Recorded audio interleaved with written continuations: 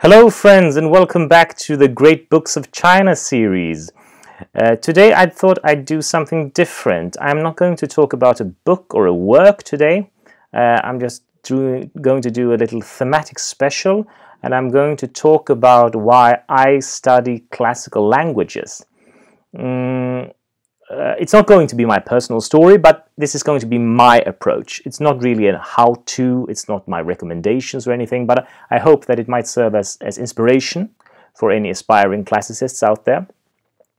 And I'll just get right to it. And i am going to talk a lot about hermeneutics to begin with, which is sort of my way to get into uh, describing more systematically what this is about. So hermeneutics is the branch of philosophy that deals with understanding. That's called hermeneutics. And in Chinese, it's called jie which I think is a really sweet word, explainology, right? And this is a philosophy of understanding that evolves from classical philology, that is the reasoned understanding of texts in classical languages, in the 19th century, primarily in Germany, and within hermeneutics, you can say that the understanding of text functions as the basic model for understanding in general. So it's not just about text, but it starts with texts. Um, that's the historical root, and you can say that understanding in general within hermeneutics is sort of conceptualized by means of the metaphor of understanding texts. And the characteristic thing about hermeneutics is that it posits a special relation between subject and object, the one who understands and the thing or the text uh, that is understood. And uh, um, I just said right now that hermeneutics developed in the 19th century, and it did as a, as a systematic discipline, but hermeneutic principles had been enunciated much earlier than that. And I'm going to give you examples of, of, of how, how these principles, how they turn up in various points in history. And one notable example of this, which I thought I'd start with, is a motto that comes from the Protestant theologian Bengel, who lived in the early 18th century in Germany. And this motto is in Latin and it says, Te totum applica ad textum, rem totam ad te. And that means apply all of yourself to the text and all of its subject matter to yourself.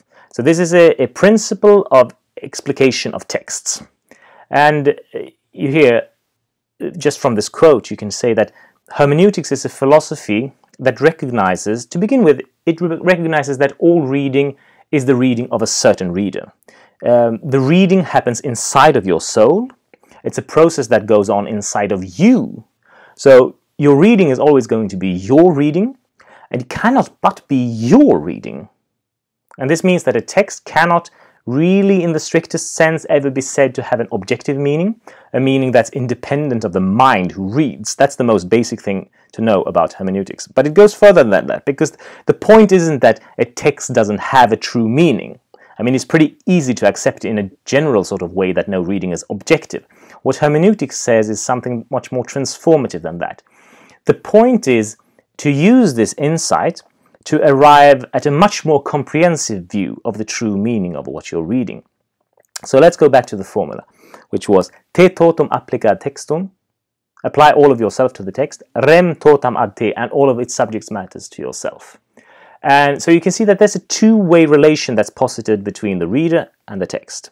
Uh, hermeneutics, we can say, has a view of the human being, the human person, as a unified thing. Uh, there's this uh, sense that there's nothing about you, whatever it is about you, that you can't apply uh, when you construct your understanding of a certain text. Te totum applica textum. Apply all of yourself to the text. Uh, that is, you shouldn't make a, a priori assumptions about what in your intellect or in your experience that is relevant or not to understand the text. You should sort of be maximally open-minded about that. And also, even more interesting perhaps, the text should be applied to you. Which may sound strange because we read a text to understand the text, right? Well, it's not that simple. In a sense, we should try to read every text as if it was about you. And that may sound slightly bizarre, and I will try to explain what I mean by that and what hermeneutics mean, means by that. And I hope that it will become clear in a minute. Uh, and there's a classic image for how this works um, in the so-called hermeneutic circle, which is a concept that uh, you may have heard about. it's the image of understanding uh, moving in circles from the subject towards the object and then back again, round and round and round like this. And uh, the classic description of this comes from Hans-Georg Gadamer, who was a German 20th century philosopher, and he was a student of Heidegger. And his model is intended to uh, describe understanding in general, but the example he uses is, interestingly enough, learning to understand an ancient language, like Latin. So uh, learning an ancient language is obviously a formidable hermeneutic challenge and, and challenge for, for your understanding. Because, I mean, say that you want to learn to read Homer in the original. The original cultural context for this poem is, is lost. It's been lost for thousands of years. There's no living person that we can approach to give us any sort of first-hand information on what the words of the text mean. And the situation we are in essentially is just the text and your own mind. And that's where the hermeneutic circle starts. And Gadamer, he tells us that uh, there's no way for us to get outside of ourselves to achieve understanding. So it's inevitable that we start out by projecting our preconceptions on the text, which, which sounds uh, stupid and wrong, but it's not. So let's take an example so that it becomes clear. Um, there are, when you start learning a language, is various rote translations of words in a foreign language. I mean, uh, let's take as an example the word ai in Chinese. Uh, if you're a beginner, uh, you will simply learn that "ai" means uh, to love as a verb or love as a noun, and and that, thus you will you will project the English language concept of love, your concept, on the Chinese word. That's sort of the first step of understanding. Uh, now, it so happens that the word ai in classical Chinese is quite different from the English word love. Uh, and when you start noticing this, that can be said to constitute step two in the hermeneutic circle. Because if you read much in classical Chinese, it may occur to you that the word ai is often used in a vaguely negative way. That's quite foreign to uh, the more uh, purely positive sense that the word love has in English. Um, and ai in Chinese usually has undertones like having undue affection for something, uh, be jealous over something, being possessive about something, or liking something to the point of clouding one's judgment. And this means when you start noticing things like this, that means that the text uh, or the language that you're learning is sort of it's starting to speak back uh, it's starting to send back information to you. So your preconceptions, which you started out with, and which were necessary for a preliminary understanding, they become renewed, refined, updated through sympathetic contact, contact with the text. Uh, and then the, the hermeneutic circles keeps on spinning because the, the point is you have to remember you still get no unmediated information from the text. Uh, the, the, basic situation of you, you here in the text there, and that's all there is, that doesn't really change. But what changes is that your the, the preconceptions that you keep on projecting on the text uh, become vastly different. They can become much more adequate for the task at hand the more this hermeneutic circle keeps on spinning. And Gadamer's way of describing this is that we have our own so-called horizon of understanding. This is Gadamer's term. And that this horizon is sort of expanded and modified until it starts approaching the horizon of the text's author. And achieving this is called a fusions of a fusion of horizons by Gadamer. It's in German, I think it's Horizontenverschmelzung, it's a wonderful long word. And he terms this accomplished fusion of horizons the miracle of understanding. Why is it a miracle? It's a miracle because we start out from an explicit understanding that the only thing we really have access to is our own mind. But when understanding is achieved, it's accompanied by a sense that our powers of conception have been enlarged by contact with something external, some other, you know, uh, other with a capital O. And all that I just said may appear to be rather technical, and, and Gadamer's claim was that this actually is how all understanding of any text happens. As a matter of fact, he was trying to be sort of factual about this and, and, and describing a theoretical model that could be applied generally. Uh, but I think it isn't a coincidence that his archetypal example has to do with learning classical languages. And of course, partly that reflects the historical fact that the whole discipline of hermeneutics grew out of philological practice, that it was the experience of actually learning to understand ancient literature that led to a philosophical investigation of understanding in itself. Uh, but I think it's more than that. Because it's that understanding literature in classical Chinese, for example, for me, who is a 21st century person from Sweden, uh, that presents so formidable problems of understanding that such a project is uniquely suited for awakening a, a, an awareness of the actual process of understanding in itself, and most specifically the miraculous aspect of it, of it. And perhaps, you know, maybe it doesn't seem to you very miraculous that I sit here and I'm able, however imperfectly, to understand a text that was written 2,000 years ago in China. Well, it's not a miracle, you say. But then I just say, try it for yourself. And you come back to me when you when your supreme effort allows you to actually hear the voice of Confucius, for example. I mean, you will find that this is a miracle. It's akin to uh, resurrection from the dead, because these are voices that sound completely different from anything out of your world of lived, non-literary experience. And they can be made to communicate with you across immense time spans. And this is also why, by the way, that I find almost no value at all in translations of ancient literature. I mean, they are a help in studying, that's all, but they don't convey a, a, tenth part of the true understanding of the text. And, and as far as concerns the actual uh, project of understanding in the sense that we're talking about now, I mean, they're simply not the correct material for it. You have to go to the, to the original. Uh, okay, so uh, now I've talked about this hermeneutics for a long time. I hope you have sort of a sense of what it means. Uh, and I'm trying to sort of get back now to why I study uh, classical Chinese. And maybe you can guess part of the answer by this uh, point. I think part of the great utility of studying classical languages, uh, for me at least, is that I find that after like 15 years or whatever it's been that I'm doing this now, uh, this awareness of the miracle of understanding, this conscious awareness of this, it's starting to become like second nature. I know in an experiential way that I am capable of reaching out with my own mind to understand another, and I know that attentive listening or reading to another person uh, has the potential to permanently enrich me. And I know it as a fact, you know. It's not as words, it's something that someone said to me or wants me to believe. Uh, I know it for a fact. And here we reach another point that I haven't mentioned so far, uh, and which also isn't actually a part of Gadamer's system of hermeneutics or anything like that.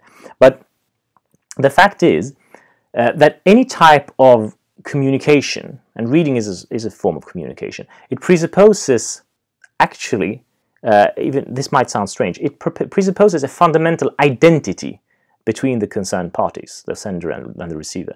Uh, the only way that any text, uh, I mean, let's just talk about texts here for a moment. The only way that any text uh, can make sense to you, ever, is by imagining a speaker who is like you. And I don't mean like a little bit like you, or, or like you in some way. I mean exactly like you. If you cannot imagine yourself thinking the thought or saying the thing that you read, that means uh, it remains close to you. I mean, it's, it's, a dead thing. It doesn't concern you. I mean, it, it may just as well be made unread. Uh, and uh, you know, there's uh, perhaps I should mention it. Actually, there's a whole school uh, of literary criticism that's called phenomenological, and that that is basically a school of criticism that shares my concerns here. And one such critic, he has a very memorable formulation of the ideal state of reading, which is basically what I said right now, and it goes like this: They are the thoughts of another, yet it is I who am their subject. That is grammatical subject. I make myself capable to think the thoughts of another. Yeah, okay, so making yourself capable of thinking the thoughts of another. Maybe you think now, mm, isn't that quite obvious? I mean, of course you read in order to have access to the thoughts of another. Yes, of course. And it's been said in many ways, many times. It's almost a cliche. But I'm going to make the claim now that what people usually mean by that is a form of propositional knowledge. They read a book and afterwards they can tell us that the author thinks X, Y, and Z, and thus they have gained access to the thoughts of another. Well, that's not what I mean. What I mean is actually thinking the thought, not being, not, not being able to tell you what it is. Let's take uh, two simple examples. We know that Mencius said that human nature is good, and that Xunzi said that human nature is evil. Boring old knowledge. It's ancient stuff, you know. Everyone knows it. It is in every basic textbook of Chinese philosophy. And the only way that this can ever become interesting to you is by making yourself think these thoughts. You have to reach inside of yourself, in the world of your intellect and in the world of your experience, and find the things that correspond to those statements and then through an active imagination to make it present to yourself what it's like to put such a realization at the center of your experiential and intellectual world. I mean, you must try to make yourself really feel what it's like to think that human beings are good, or that they are evil, or anything else that you might be reading, that Jesus died for your sins, or that the Creator has a covenant with the Jewish nation, or any such thing. That is reading. That is really truly to think the thoughts of another. You don't stay away from it. You don't stay on the surface. You go below the surface. And um, um, we have a sort of innate capacity for that. Uh, I mean, I, I, I, said it right before that people sort of prefer to stay on the surface of things. Um, that this sort of propositional knowledge about texts is usually seen as enough. But despite this, I mean, my view is actually that people manage to think each other's thoughts all the time, also in the deep sense that I, I am I'm saying right now. Uh, I think, for example, that the incredible ease with which we imbibe all kinds of political and social ideas from media, uh, that's uh, actually an example of how effective and operative this faculty of the human mind is. Um, but it's especially easy to do this with people who are similar to you. I mean, the, when the thoughts they communicate are similar, or they have a similar basis to your own conscious thoughts, then this sympathetic identification with the sender, it's really fast as lightning. Um, but people are actually really bad at thinking the thoughts of people uh, who are different from them, people who are their other, capital O, you know. And, and that's of course natural because, I mean, in a way at least, otherwise they wouldn't be their others. But what I'm going to claim here is that even people who make it their job to read, you know, in a broad sense, to understand cultural phenomena and history and so forth, even those people are usually not very capable of this kind of sympathetic reading that I'm talking about. Uh, a lot of the time, actually, I think people subconsciously have the wrong motivations for learning about, say, China. Uh, very frequently, I feel that uh, um, it's as if Westerners who write about China they have this barely repressed urge to always find themselves as they are now in the other. You know, like we are just the same, reaching this sort of conclusion. And I think this is very different from what I'm saying, which is that you only understand another by constructing or rebuilding your own self in dialogue with the other. Uh, the caricature of what I'm talking about is like the American who goes to China for the first time and he has nothing, uh, no knowledge, he only has his own prejudice. And then after two weeks, he's all like, well, you know, I thought they were all just a bunch of godless commies, but actually, you know, they're people just like us. And it's all just because the old lady in the noodle shop smiled at him or something. And uh, I mean, this, this may sound horribly disrespectful, and I guess it is. But I think that a lot of China scholars, China journalists, and so on, they're basically just a bit dressed up versions of that. And that includes for me the whole sort of Edward Said uh, anti-Orientalist school of thought, you know, that fears nothing so much as exoticism, and they and they claim that it's either our fear of the others or our secret desire to oppress them that makes us imagine that they're so different from us.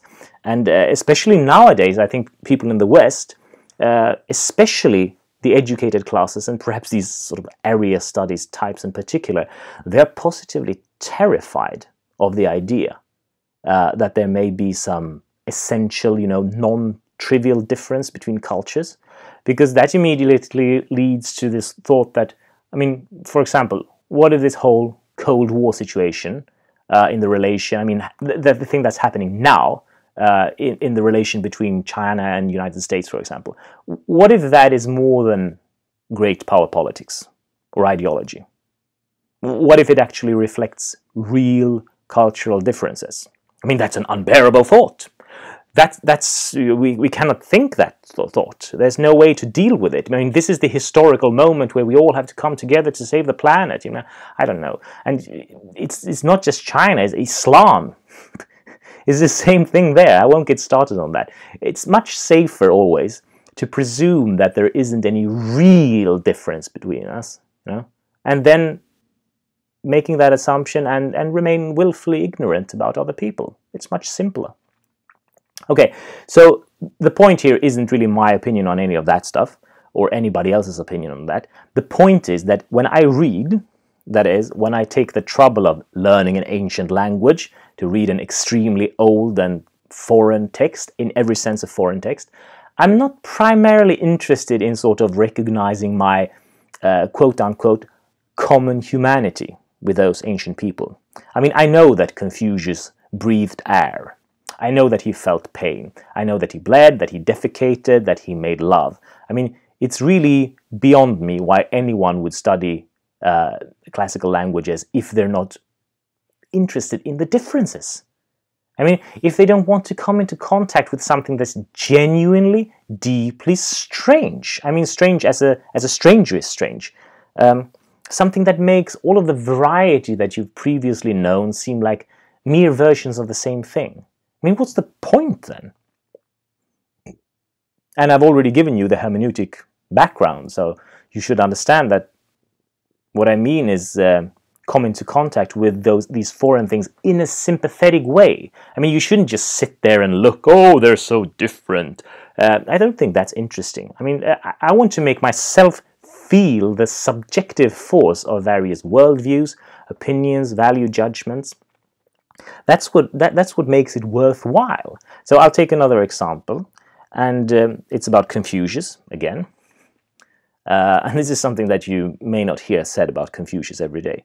Uh, it's somewhat frequent to hear Confucius being described as a Chinese humanist. And we have this uh, Wing Tsit Chan, you know, the guy who wrote the uh, source book to Chinese philosophy. Remember that? Yeah. So that guy, he even described the entire philosophy of Chinese, uh, the, sorry, the entire history of Chinese philosophy as being the history of Chinese humanism. Uh, and of course, it's not like this word humanism has a very definite meaning, but just think about what I'm going to say now. So, when Confucius lived, uh, 2,500 years ago, more or less, it was customary when a great ruler died uh, to bury a number of people together with him. And this isn't mentioned very frequently in the literature or philosophy of the era, uh, but it, it, pops up here and there, and we know it for a fact from a lot of excavated tombs. Uh, this is something that, I mean, perhaps you don't know this, but it's a funny thing with ancient China, I mean, pre imperial China, that you know the the actual material evidence that we have from this period it comes almost entirely from tombs so it's rich people's tombs ducal tombs royal tombs and there we find always or usually at least these little pits or whatever with a number of victims inside so i mean this is not something i'm an expert on it's vaguely terrifying of course but but this usage persisted I mean, occasionally at least until quite late. We find examples of it in the Ming Dynasty, uh, so certainly in Confucius' time this existed. so I'll just ask you a question. Does this sound to you like a humanist culture? I mean, whatever spin we put on that word. And of course, I talk, started talking about Confucius. We don't know exactly what Confucius thought about those things, but you know, he was certainly not above criticizing power.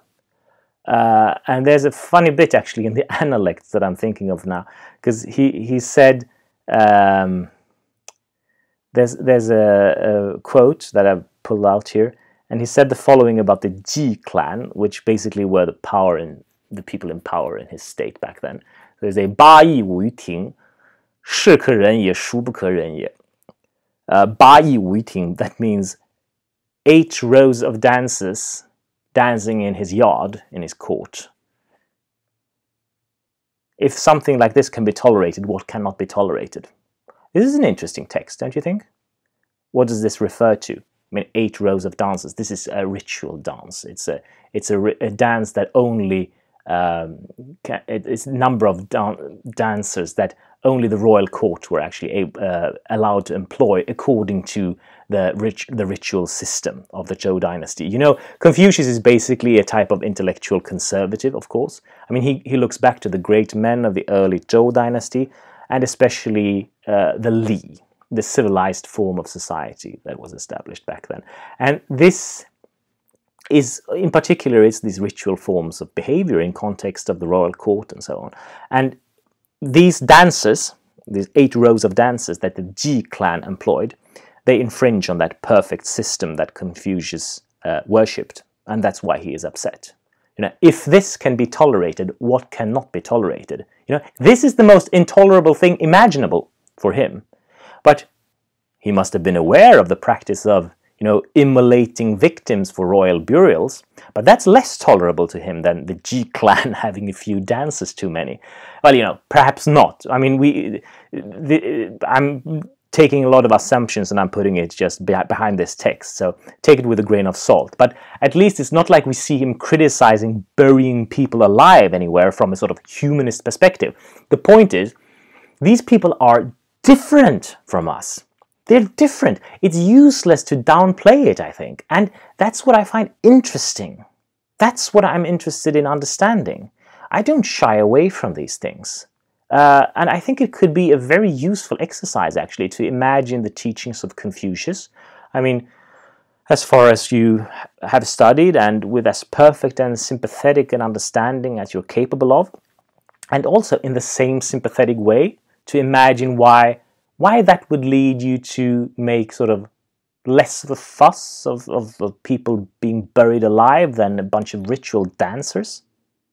So I don't want to make uh, ancient people. I don't want to meet ancient people in a circumscribed little circle of common humanity. I'm not at all sure that we share enough for that to be very interesting, actually. I mean, I want to know who they really are, especially when they're different from me.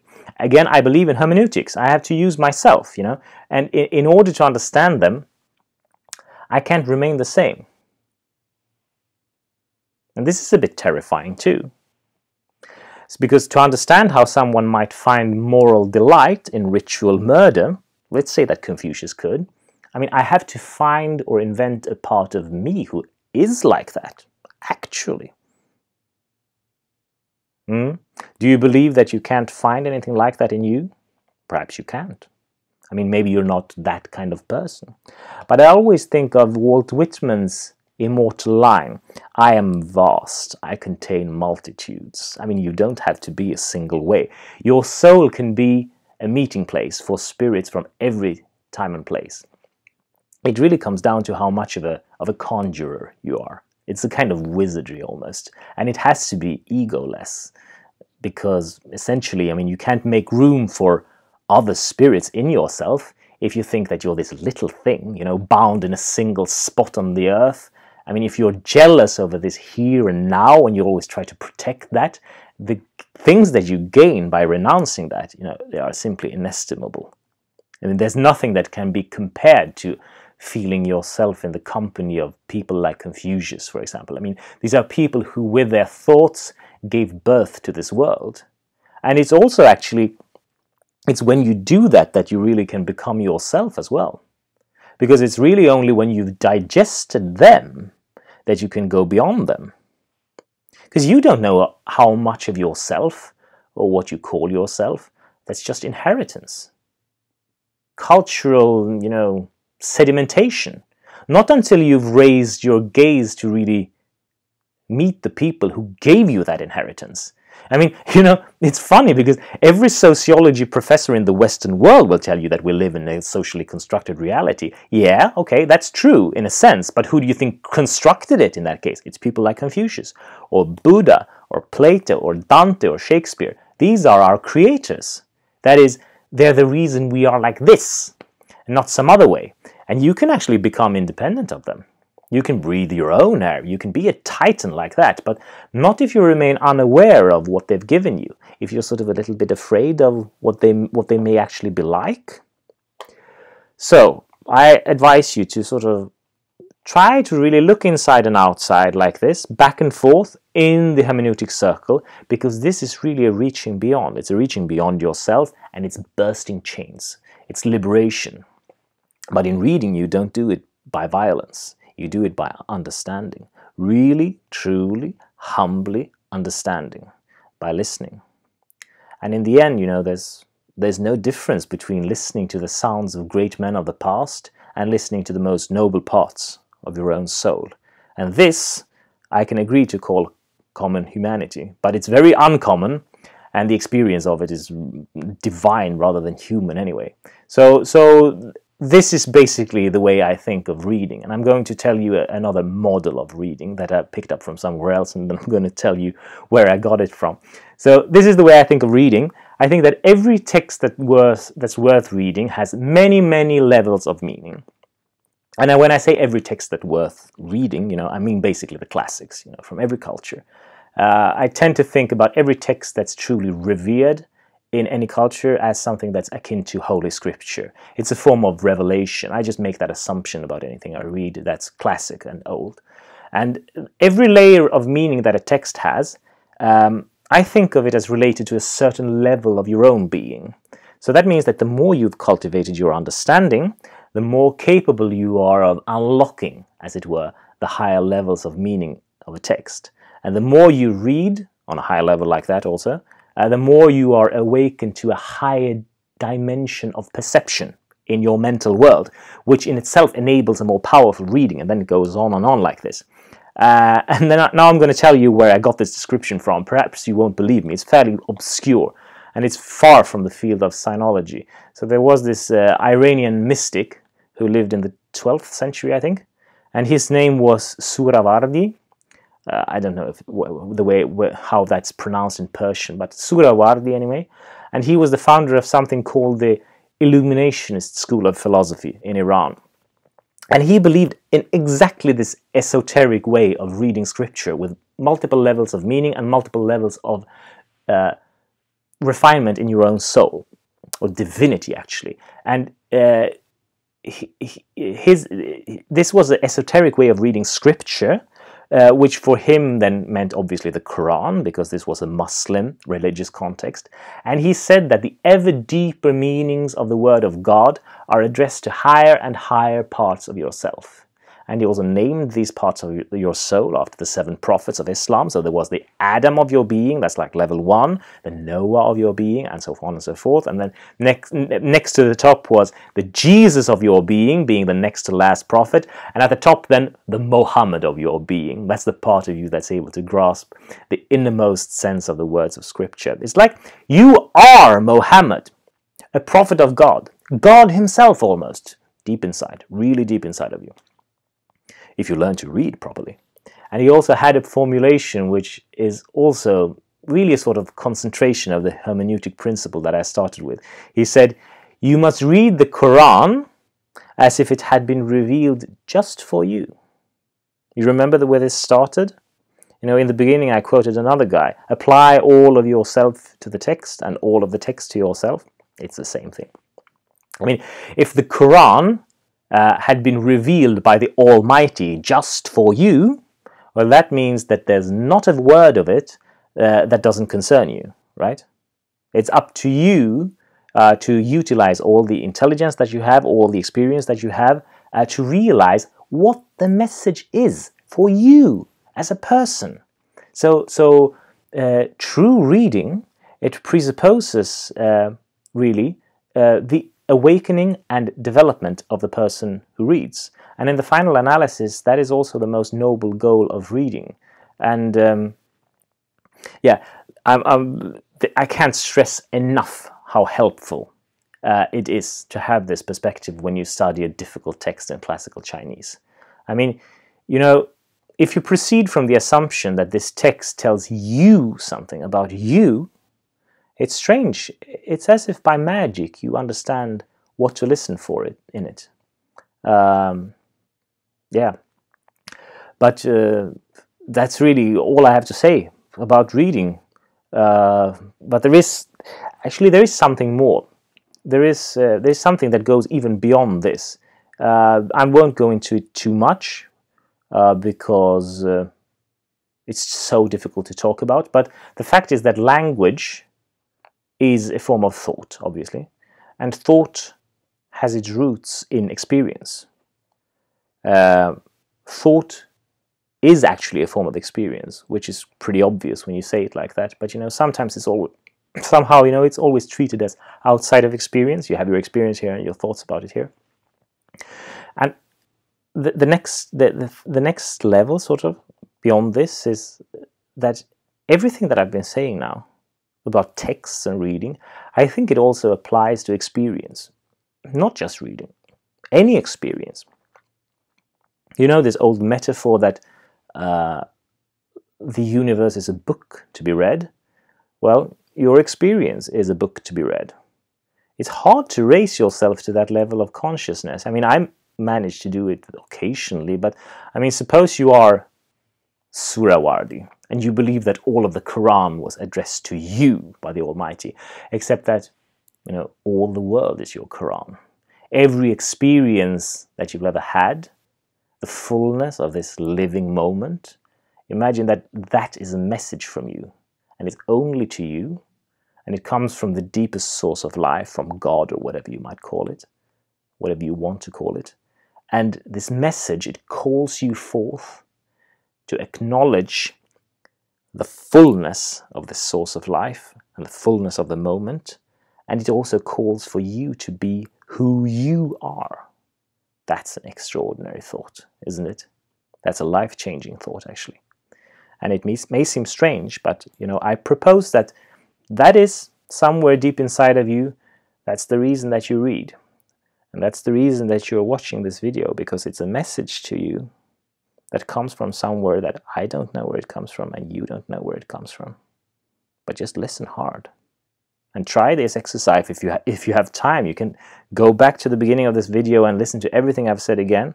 But imagine that I'm talking about your own experience. Every time I mention reading and you can see where that leads you. So good luck with that and thank you for listening and keep on reading